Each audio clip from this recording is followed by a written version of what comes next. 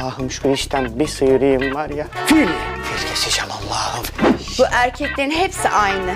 İki tane güzel kadın görmesin hemen her şeyi unutuveriyorlar. Sus be sus! Uğursuz camuk şekilsiz karı. Sabahtan beri çen çen çen kafamızın etini yedin iki tane yüz verdik diye. Al iki tane bisküviye kendine gel. İşler karışıyor Faruk.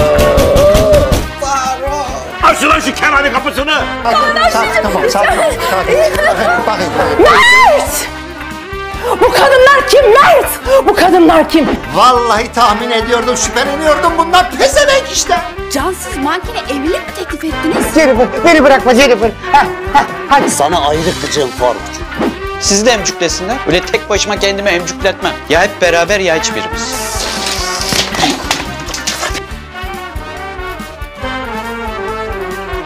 Buldum. Sen yukarıdaki komşuya bir posta atmaya geldin. Ona postayı atamayınca bize atmaya karar verdin. Apartman boşluğunda görsek kesin yapıştırır ha.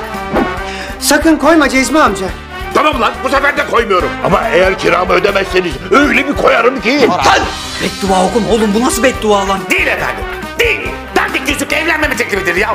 Anasını, babasını, halasını, teyzesini, dayısını, karısını, kızını hepsinin var ya ta Dört aydır veresiyeleri ödemiyorsunuz. Bir de şov yapıyorsunuz, başka marketlerden alışveriş yapıyorsunuz. Kimsiniz lan siz? Affetmeyeceğim seni. Sen ne kadar istesen de, ne kadar arzulasam da, alev alev yansam da seni affetmeyeceğim. Sen sus seks manyağı. Ne yapıyorsunuz lan? Bütün konsantrasyonumun içine sıçtınız. Şu anda açık açık söylüyorum. Bu kapıdan dışarı çıkanı sikerim. Ay hadi inşallah. Bizi sikecek. Bu ne ya bu ne ya? Teşekkür ederim teyzeciğim.